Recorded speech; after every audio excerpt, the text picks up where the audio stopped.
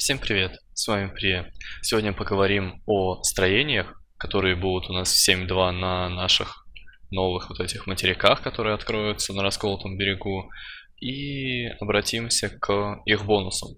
О бонусах мало что известно на самом деле, но они весьма значимые для игроков, как для PvE, для PvP прогресса и просто для самого обычного целования белочек. А, начнем же. С целью того, чтобы открыть здание вообще. После того, как мы получим доступ на расколотый берег у игроков, э, будет возможность отправить военные припасы погибели легиона на открытие здания. Военные припасы погибели легиона – это валюта, которая нужна будет для открытия зданий. Раз в день мы сможем отправлять по 100 этих ресурсов, и всего лишь только для одного здания. Всего их будет три, скажу сразу. Также мы сможем получать эти припасы, выполняя локальные задания на расколотом берегу, примерно 100-150 в день, убивая каких-либо редких существ этой локации, либо открывая сокровища. Ну, сокровища по типу, которые разбросаны у нас в вот этих вот локациях, с которых там падает по чуть-чуть э, сила артефакта или ресурсов оплота класса. Как-то так. А, также в обмен на припасы мы получим вознаграждение погибели легиона, в котором содержится золото, жетоны бесстрашия, которые превращаются в предмет определенной ячейки, также легендарный, что стоит заметить, и как вариант что-либо еще. Посмотрим, 7.2 покажет нам все эти дела. Как только 100% ресурсов будут собраны на постройку одного из трех зданий, это здание разблокируется, и бонусы станут доступны. Ну так вот. Для получения временных эффектов можно будет обратиться к смотрителю, к командиру Чемберсу. Это моб, который будет отвечать за постройки на расколотом берегу. Пока активно одно здание, игроки могут отправлять припасы на создание двух других. Как-то так. То есть э, эти постройки будут э, идти, получается, еще намного быстрее, и они будут получаться общим трудом людей на сервере. Э, я помню, было что-то такое тогда, когда стартанул патч 5.2 с Престолом Грез, и шли нападения, скажем так, на Остров Грома. То есть там один этап, второй этап, третий, четвертый, пятый. Потом там вот эти вот врата пробивались, то есть всякие интересные сценарии были. Ну, было классно реализовано. Надеюсь, что тут будет все так же.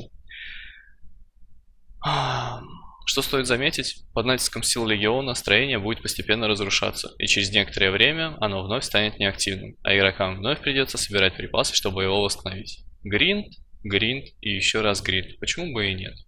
В процессе открытия строений участвуют все игроки обеих фракций одного региона, поэтому активные здания на каждом сервере региона будут одинаковые, что в принципе я уже и сказал. Теперь же мы поговорим о зданиях и о конкретно их бонусах. Бонусы весьма интересные и занимательные. Итак, активная башня магов открывает доступ к бонусу «Сокровища скверны», которые включают в себе э, три мини-аффикса, три мини-модификации, скажем так. Первое – испытание артефактов. Игроки получат доступ к особым одиночным классовым испытаниям, пройдя которые можно получить новые расцветки артефактов. Судя по всему, э, скажем так, э, это будет похоже на арену испытаний. Ну, я так думаю. Почему бы и нет? Э, если это будет интересно реализовано, то э, многие люди захотят себе эти расцветки и пойдут на эту определенную арену испытаний. Классно. А также тайники змееустов. По всему расколотому берегу появляются тайники, в которых игроки смогут обнаружить различные ценные сокровища, в том числе а, припасы для постройки зданий и осколки пустоты. Осколки пустоты и их э, необходимость, их, скажем так, э,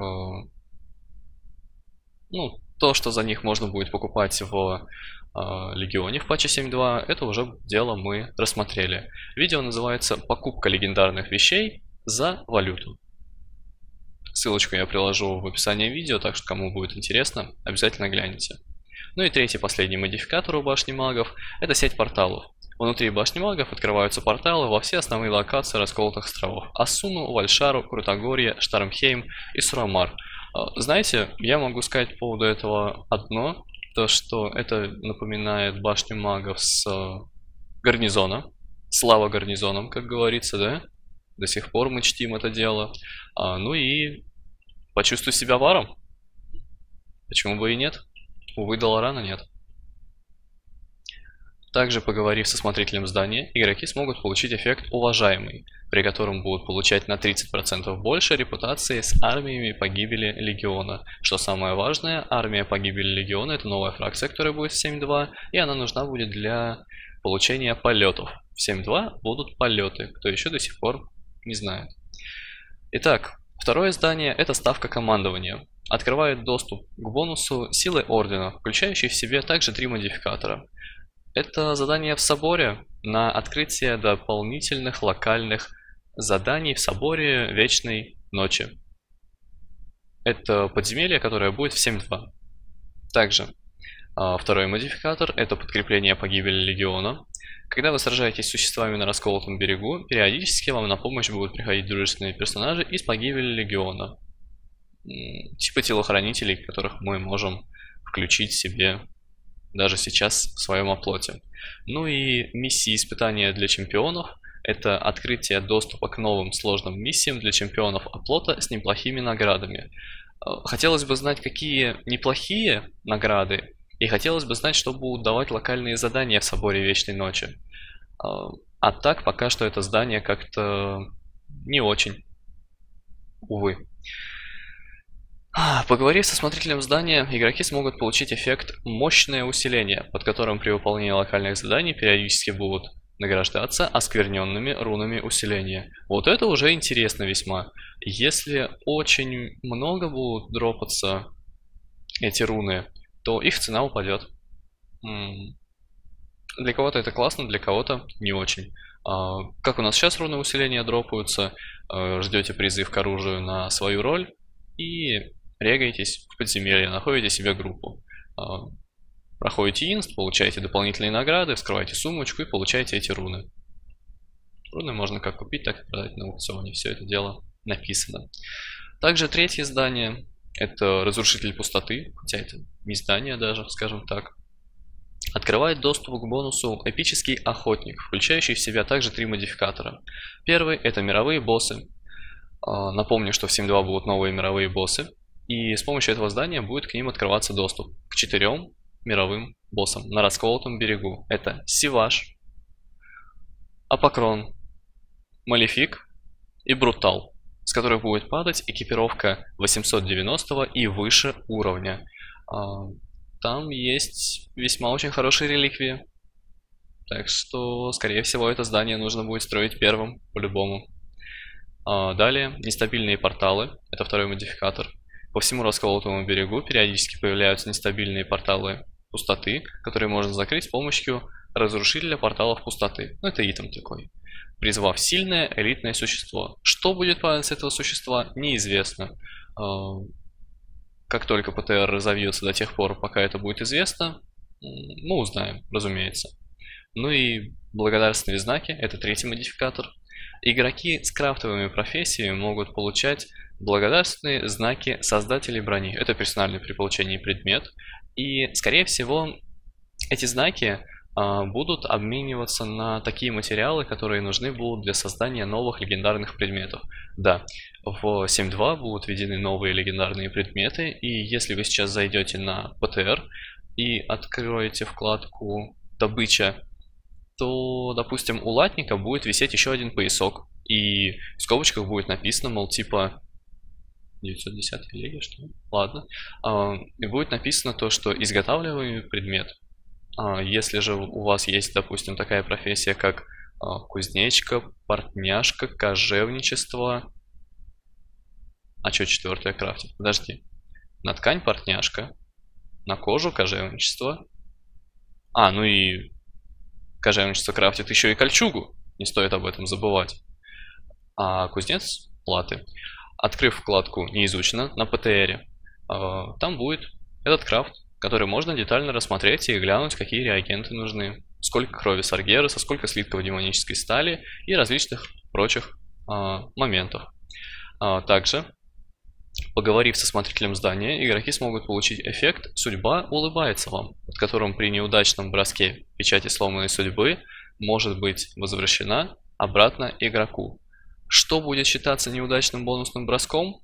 Скорее всего, получение силы артефакта. Бонус весьма хороший от Разрушителя Пустоты. Я бы назвал его самым важным зданием для людей, которые хотят покорять PvE контент. А, только вдумайтесь, 4 мировых босса, а, призыв сильных существ, также с целью заработать Gold Farm, а, вот эти знаки создателей брони, которые будут меняться на реагенты, и возврат монеток. Это классно. И что самое главное,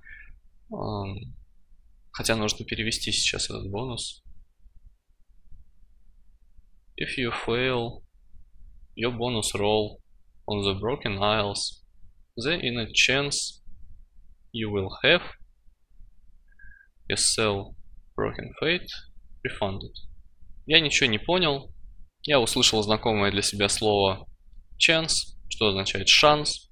Значит, опять с некоторым шансом при неудачном броске печать может быть возвращена обратно игроку. Ну, короче, понятно все. Я все понял. Угу. Опять определенные шансы, прочее различное. Короче, ладно. Пора заканчивать этот монолог. Надеюсь, он был полезным вам. А, Какие-то пустоты, скажем так, в знаниях 7.2 мы заполнили, узнали чуть-чуть нового. Даже я для себя э, что-то извлек э, нового при подготовке этого материала. Э, так что верим, надеемся, ждем. Ждем 7.2, строим разрушитель пустоты и идем покорять новых мировых боссов. Всех вам благ, счастья, здоровья, удачи дождаться 7.2, не сойти с ума, пока оно еще не запущено. До скорого, легендарок вам побольше.